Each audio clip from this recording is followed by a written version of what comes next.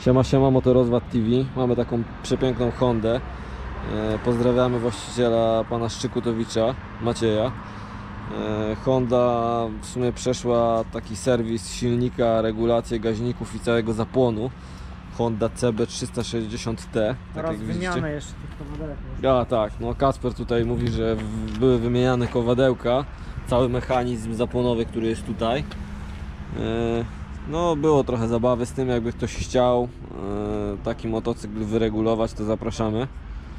Kasper już teraz jest e, inżynierem praktycznie w tej dziedzinie.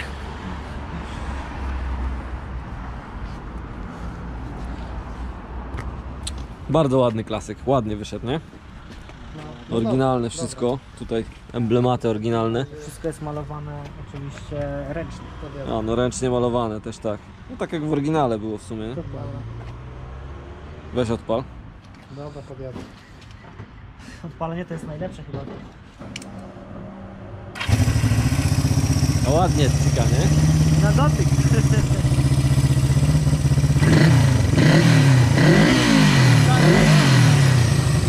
Salonu? Prawie jak z salonu, no. No dobra, siemanko, trzymajcie się, pozdrawiamy.